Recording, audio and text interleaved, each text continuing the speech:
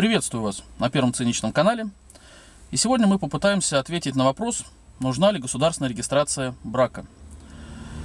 Этот э, сюжет является продолжением целой серии обзоров, посвященных созданию семьи, разведенкам с прицепом и отношениям между мужчиной и женщиной. Э, сразу хотелось бы оговориться. Э, те сюжеты, вся серия практически, особенно сюжет о разведенках с прицепом, вызвал колоссальный акт дефикации в интернете. В основном акт совершали сами разведенки. Самое главное, что на поверку образовавшиеся массы в результате этих действий оказались сплошь состоящими из кирпичей. Э, поэтому, если вы разведенка с прицепом, если у вас слабые нервы, то сразу закройте это видео. Потому что стране нужны ваши рекорды, стране нужны стройматериалы, но все-таки поберегите свои нервы. И, соответственно, лучше не смотрите этот ролик. Э, дальше. Переходим к существу вопроса. Постараемся рассмотреть институт брака хотя бы с четырех аспектов основных. Это исторический, моральный, юридический и богословский. Э, максимально широкое рассмотрение, насколько это можно сделать в коротком ролике. Итак, исторический аспект. Современная, современный институт брака возникает в 1917 году, сразу после Октябрьской революции. По крайней мере, в современном виде. Э, государственная регистрация брака приходит на смену церковному таинству венчания – Э, соответственно, функции церкви передаются государству, органам ЗАГС, а из э, института брака полностью вымарывается его сакральная составляющая, то есть составляющая именно церковная, ну, богословская составляющая. Примечательно, что в это же время осуществляется политика коллективизации в Советском Союзе, в Советской России еще, политика раскулачивания. И здесь очень хорошо вспомнить Шарикова, полиграфа Полиграфовича из «Собачьего сердца», с его знаменитым «взять все да поделить». Э, знаковая фигура, на самом деле, для России, знаковое высказывание. И как раз э, та политика, которая происходила с 17 -го года и в 20-е годы, она была последовательной во всех отношениях, и в гражданских отношениях, и в уголовных, э, и в плане гражданского оборота. То есть нельзя считать, что что-то делалось так, а что-то делалось прямо противоположно. То есть, в принципе, канва была соблюдена единая. Поэтому мы сейчас просто запомним вот этот момент, что коллективизация, раскулачивание примерно возникает тогда же, когда и современный институт брака. Э, и скажем лишь то, что взять все да поделить всегда будет выгодно той стороне, которая в создание этого всего э, вложилась меньше 50%. А наиболее выгодно это будет тому, кто не вложился вообще нисколько. Тому же, кто больше 50% вкладывает э, в создание чего-либо, делить это пополам нерезонно. Но это слишком очевидно. Дальше. Моральный аспект брака. Даже давайте сначала рассмотрим юридический аспект, чтобы была связь. Юридический аспект брака. Э, по сути, это договор, такой гражданский, э, который предусматривает, что в случае Э, прекращения брачных отношений имущество супругов признается общей собственностью и, соответственно, делится пополам. То есть здесь как раз вспоминается Полиграф Полиграфович с его желанием поделить поровну.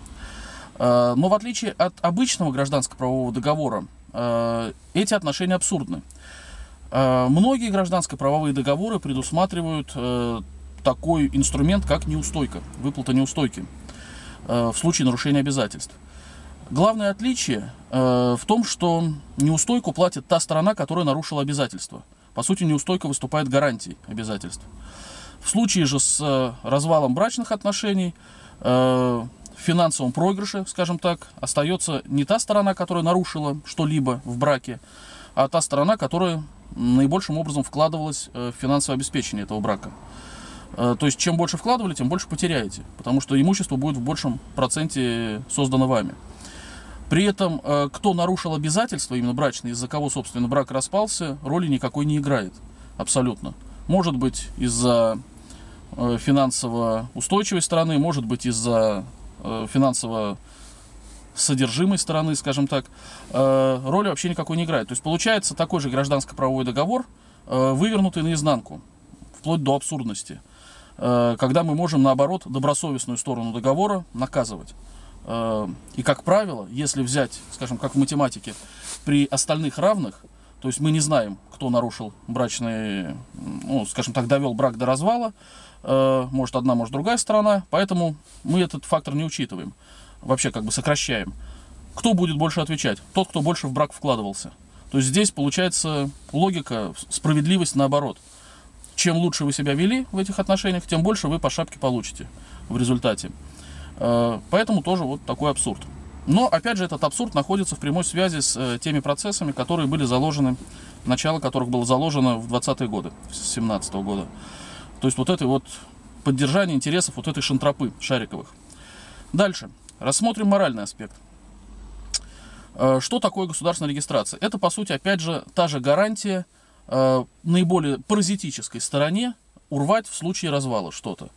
Поэтому сама регистрация будет подталкивать такую сторону, не совсем моральную, скажем так, имеющую склонность к каким-то аморальным проявлениям, э, к как раз развалу брака. Потому что если бы никаких урываний не было в результате, то и смысла в этом нету. Паразитическая сторона сегодня этим днем пользуется своим положением в браке, то есть, например, является, находится на содержании. А, соответственно, в случае развала этого брака содержание закончится. А здесь нет, а здесь вы можете, наоборот, урвать половину имущества. А, поэтому, по сути, первое, что с моральной точки зрения выходит на поверхность, это провокация развода, э, что выходит на поверхность именно в результате брака. А, дальше это отношения, построенные на недоверии. То есть, грубо говоря, если не вкладываешь голову в пасть льву, то лев тебе не доверяет. Э, то есть в случае чего он голову может откусить. И заметьте, откусит непременно. То есть изначально, прежде чем строить отношения, э, вы, по сути, подписываетесь, что в случае их развала, даже не по вашей вине, вы огребете по полной программе. Э, поэтому без этого доверия нет. То есть зачем вообще тогда регистрировать? Если вам без этого не доверяют, то и не надо. Доверия слову нет, по сути, человеческому. Что слову сделаю, что от меня зависит, чтобы отношения, как говорится, поддерживались. Э, это второй аспект. То есть, опять же, с моральной точки зрения, институт брака, мягко говоря, нецелесообразен. Теперь богословская точка зрения. У школе мы упомянули именно в историческом аспекте о богословии, о том, что брак изначально все-таки в тысячелетиях понимался как церковное таинство, э, то опять же рассмотрим богословскую, богословский момент. Э, здесь банальная логика.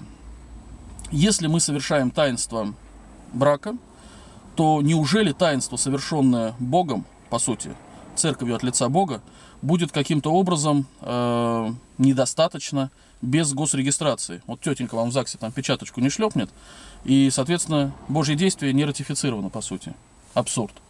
С другой стороны, если это таинство не совершено, э, то неужели тетенькина печать будет вам давать э, какое-то какое божье благословение.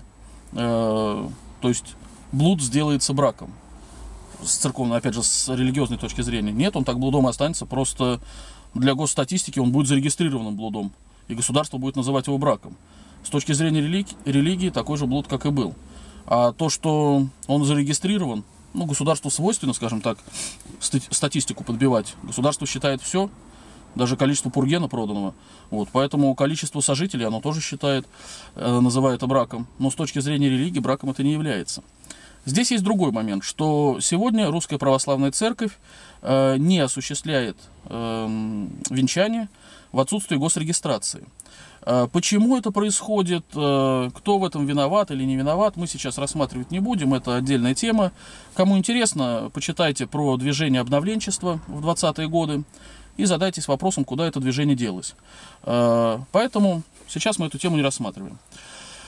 С другой стороны, далеко не все священники откажут в регистрации брака без госрегистрации, в смысле в венчании без госрегистрации. Э, многие откажут, да, но не все. Поэтому здесь стучите и откроют вам, ищите и обрящите. Заодно узнаете, сколько в церкви священников, а сколько попов. На опыте узнаете. Это во-первых. Во-вторых, опять же, если обратиться к Священному Писанию, то Дух Божий дышит где хочет, э, пути Господни неисповедимы, и поэтому, если э, церковь отказывает вам на основе того, что богоборческое, по сути, государство вас не зарегистрировал, вам отказывают в таинстве, то не проще ли вам обратиться к Богу напрямую? Все-таки христиане э, названы царственным священством, то есть имеют право обращаться напрямую. Обратиться напрямую с молитвой за получением благословения от Бога на эти отношения. Э, именно в силу того, что благословение через таинство получить невозможно. Э, здесь, на мой взгляд, будет действовать принцип церковной экономии. Э, то есть благословение, возможно, вам будет дано, возможно, нет. Равно как действие Бога невозможно регламентировать и в таинстве. То есть есть понятие действенности, действительности таинства.